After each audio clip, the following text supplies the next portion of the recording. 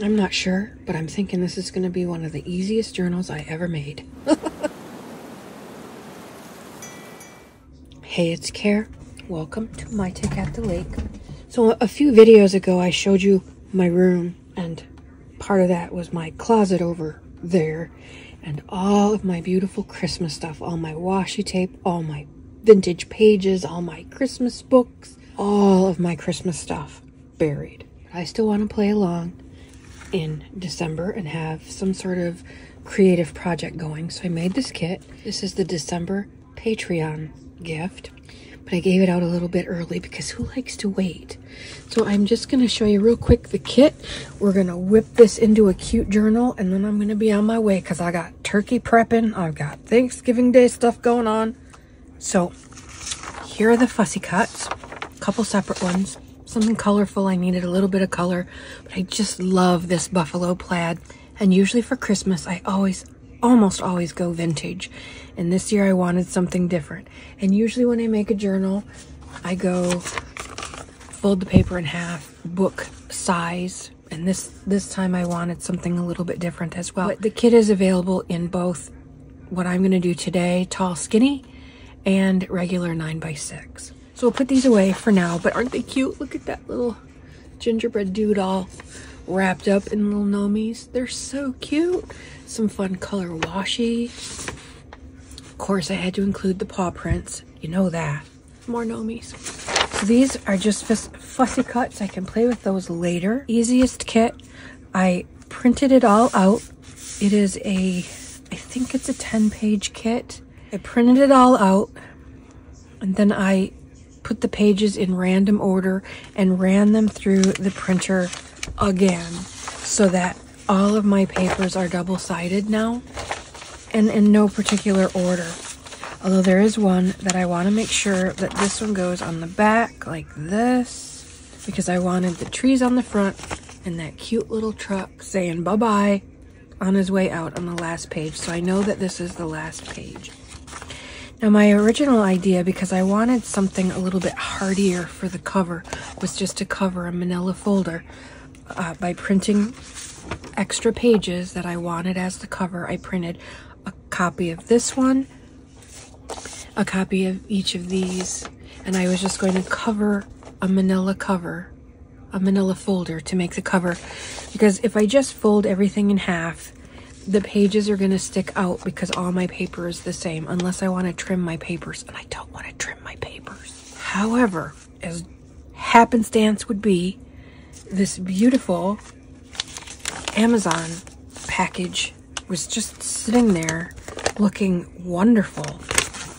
And so I, I folded that in half and looky looky, it was just an absolute perfect fit. So people are doing their Christmas shopping early. My guess is you probably have one of these perfect papers. And if you don't, a manila folder will work just as well.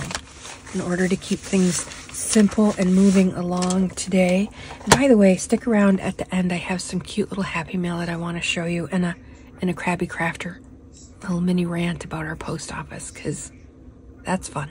If you're interested, that'll be at the end. So we get this stuff out of the way and we're to try to do this in real time, except I've already cut the papers in half that I want on the cover inside and out. I'm to use my tape runner gun and this particular glue today. So I'm just to use that in conjunction with my tape runner, but you don't need a tape runner. Your glue stick will work just fine. If you have a laser printer, your art glitter glue will work. Whatever you have will work fine. The reason I don't is because the wet glue will run all of my ink. So I have to use dry adhesive. Even though there is some moisture in this, I still have to be careful about how much I put on because I don't want my colors to run. So I decided that I wanted this little bit cleaner page, less snowflakes. I wanted these on the outside and this bit of a busier one on the inside. So I'm gonna start on the inside just till I get my get my rhythm going because I got a million things to do. I'm not quite in the mental space for this, but it, I want to do this right now. So I'm putting the outside covers to the side. I'm going to work on the inside. Now these are the envelope is just a little bit bigger, and that's okay. I do want to take this bright yellow thing off here. I don't Save this for my daily glue book because it's part of my day today.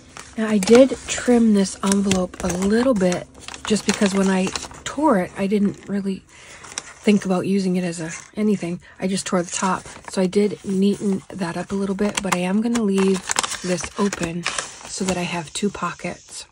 And if I want, I can go ahead and cut two notches in here so that I remember that they're pockets. I'm not going to worry about that right now. I can do that when I'm decorating things, I think. Just take a punch and punch it out. Again, not necessary, really. So I want these. I'm just going to put them in the way that it came apart. Just like that. I'm going to put this in the middle. Where I know those papers are going to sit. I'm going to make sure that I get my edges really good because they just will keep lifting otherwise and I don't want to keep regluing things so I'm going to just make sure to get those edges really really well. The edges and the corners.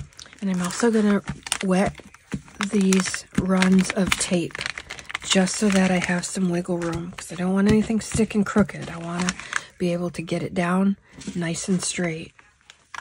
I'm just going to eyeball it so that it's reasonably straight.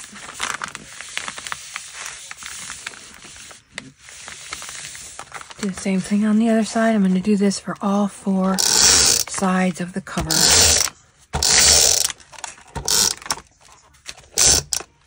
So I have stuff glued inside and outside of my cover. I'm going to put that aside for a few minutes. I've gone ahead and folded all of my papers that again I have printed borderless full size and then I ran one set through I printed it once put them all back together and then ran them through the printer again because the way my printer it offsets things and so if I want things to be the right way up and everything lining up properly I do it in two stages rather than printing two-sided it's, it's a little bit more time consuming but I get a better result so I did that. And as I folded these, this tree I folded so that they were outside. The second set of trees I folded so that they were on the inside. This one is an extra one. It was a misprint. I had stopped it from printing, but and just got this little tiny bit up here. And so I just did one extra page and printed these trees just random. I, now this one I know I want the front of my signature and I want that little truck to be the last page. So this is going to be the first page and the rest, the rest I don't care how it goes in, really. I just don't want the same exact papers right next to each other. Maybe I'll put the gnomes, I'll put the gnomes as my centerfold. And even though I did it randomly, when I put the second set when I put them through the second time to get the printed backs, I rearranged them and this printed the set. So whatever ended up on the back of something was totally random. And my gnomes both ended up on the same page. And that's fine. I think what I'm going to do is take a nice fine marker and because I printed these white gnomes on white, I'm just going to go in and give them pom-poms on their hats and maybe give them some funny beards.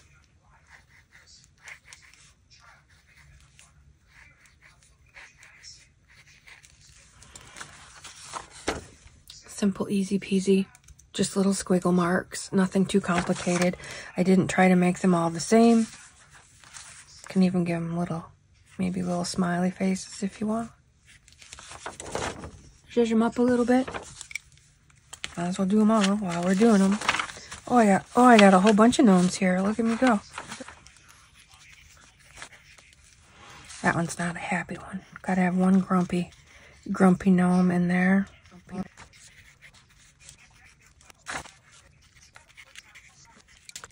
Zhuzhing up the gnomes is taking some extra time, but I think they're worth it. So these will be my inside page. So I'm going to save that. So I've got trees and pattern, pattern. I got a lot of patterns. More trees. And you can always refold them. If it's too much pattern next to too much pattern, refold them. Do I want that? I might not. We'll see. let's see how we end up here. And remember, if you want a bigger journal, if you want more pages, just print out the ones you like the best. Print a couple extra. Just because it's a 10 page kit doesn't mean it can't be a 20 page journal. So let's see what we ended up with. I wanted the trees on the front and the truck on the back. So I have that. And I wanted the gnomes in the centerfold and I have that. Let's see what the rest of it looks like before we put it all together and be done. So that looks all right. That's kind of fun. That looks kind of fun. A nice ride in the cute little car. And I like that the car is coming. It's early on in the in the story and it's coming in this way. So I really like that. This just reminds me of a nice cozy warm winter sweater, Christmas sweater. Pattern, pattern, a little bit different. Trees with, with a sweater pattern. Two, two alike. That's okay. That's all right. Pattern on this side, trees on that side. I think I like it. There's our little gnomes. Just that little whisper because it was a misprint, but I didn't want to waste it. I wanted to use it. So that just gives me one extra page in my journal. My gnome centerfold, gnomes in the back. I'm kind of blank here except for this little thing, but I have lots of embellishments to add. Trees and sweater, double pattern. I think that's a fine, I, I like it. So I, I'm pretty happy with how this turned out, but it, it's always changeable because we're not going to sew this in. I'm just going to put it together, give it a good squish, give it some love with my bone folder, pull my cover out, put my beautiful journal in there. I got my way cool baker's twine from the Dollar Tree. Just gonna open to my center folds, my little gnomes, and I'm gonna put my baker's twine in there. Get enough so that I can easily tie a bow. Make sure that it's in there pretty good and they're pretty tight. I'm gonna tie a knot before I tie the bow.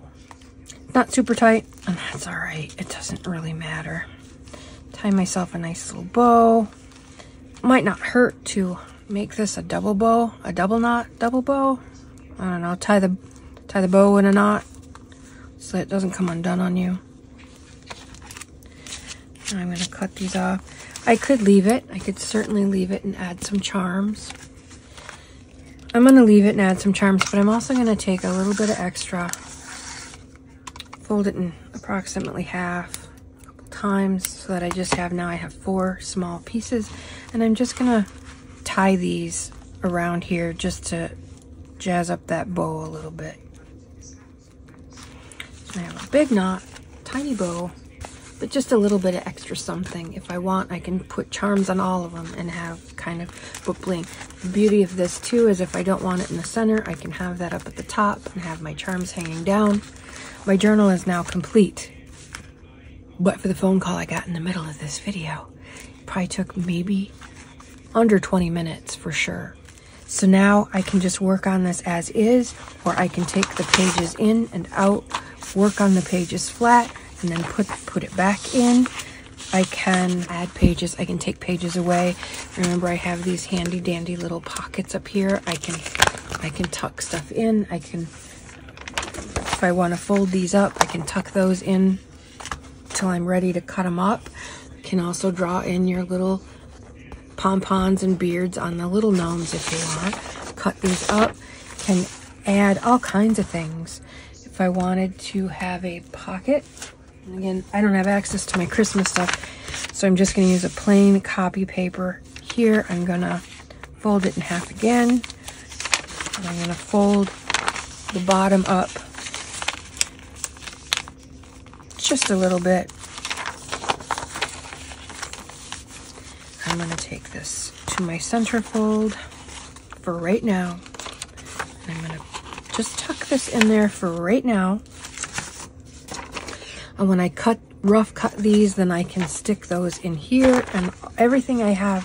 So tomorrow when I'm at Thanksgiving at my aunt's house, I can take this with me. I can fussy cut.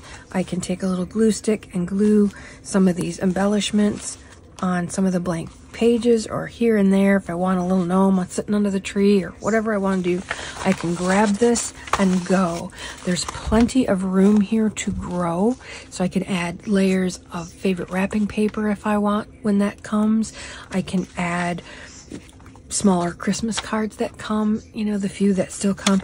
There's lots and lots of room to grow with this. And it's super easy, clean, neat, fun. You don't have to have the envelope, but it sure would help. You can just use a manila envelope and make a cover. You know, it's the same. It's already the right size height-wise. You just have to cut it down to the to the width that you want. And again, I made this kit in two sizes, the long tall Sally that you see here and the regular book shape. And so you can make a journal like that if you like. You can make both. You can shrink them down when you print and make a mini journal. If that's all you think you can do in December, by all means do that. You would put two pages per sheet and that would get you about half the size of your journal. So instead of having a journal this size, you would have a journal just by shrinking it down. Either shrinking it down, what I would do in the print queue is have it print two pages per sheet and then when you trim it, this is the size you'll end up with. So lots and lots of options with this one simple kit please hop over to Patreon. I'll put a link in the description below or in a pinned comment if YouTube is not behaving. Now, I promised you a little bit of a rant. Long time ago, when my niece got married, she sent out these fabulous invites and had all these vintage stamps on it. And ever since then, whenever I mail something to a junk journal friend of mine, I try to put a variety of stamps on it just because, because it's, you know, it gets the job done. It's still the right amount of postage. But it's way prettier than just a 32 cent pink printed out label, right? It's just character and fun and we all like adding the stamps too. So I went to the post office to mail out one of the winners. I believe it was to Catherine at my hillside garden. She was she won a couple in a row and I asked the post dude if he would please put a variety of stamps on that. But instead of just a pink computer generated thing, could you just put a variety of stamps to get us to that number? Could you do that? Well, first he didn't understand. Then he was pissy because I asked him to do something out of the ordinary and he didn't have time. Now, there wasn't anybody else in the post office. I wasn't holding up the line. There wasn't anyone else there. It was just him and I. Well, uh, I have to get extra stamps from over there. I said, I'll wait. oh, okay, never mind. Like, just walk the four steps to the next booth, get the fun stamps, and come back. Well, then you had to get this calculator out and you had to do some highfalutin math. And here's what the genius came up with.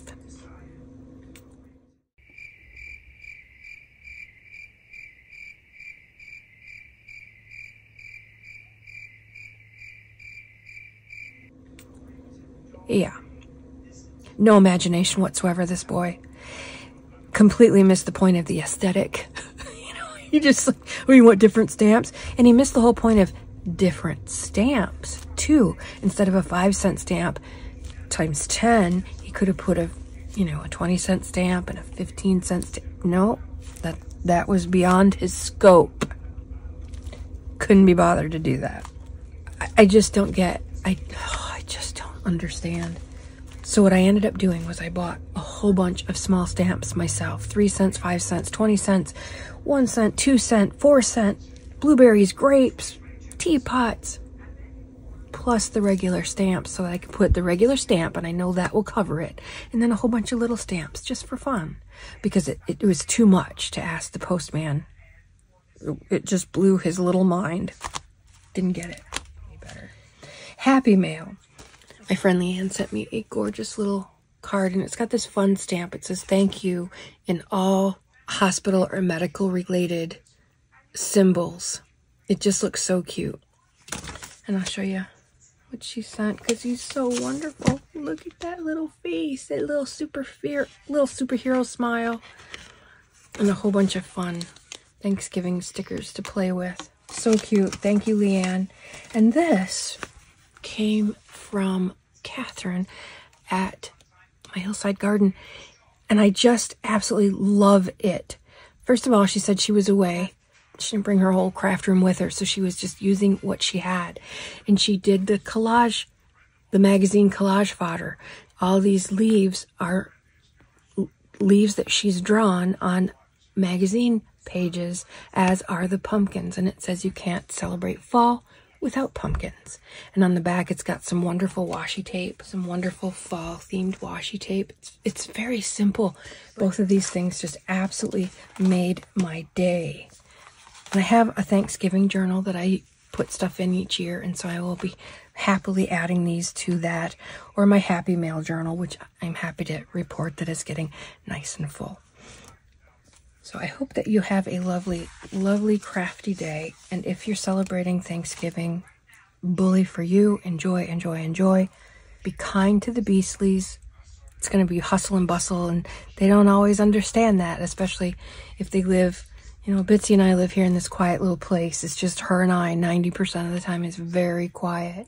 And we're going to go tomorrow and there's going to be five dogs. There's going to be a lot of adults. Yeah, I don't think, fingers crossed, no kids this time. No kids. Fingers crossed. But still a lot of adults, a lot of noise, a lot of cooking. My aunt got a margarita making machine, so I'm sure that will be running a lot of noise, a lot of chaos that Bitsy's just not used to, you know? So I try to take extra care with her while we're there and make sure she's safe and comfortable and out of the eye of the storm, you know, just where she can be quiet and comfortable. Just can be considerate of them during the holidays. Just consider what they're used to and what they're being exposed to because it's usually very different. Love them up. Give them extra cookies. My take at the lake. Out for now.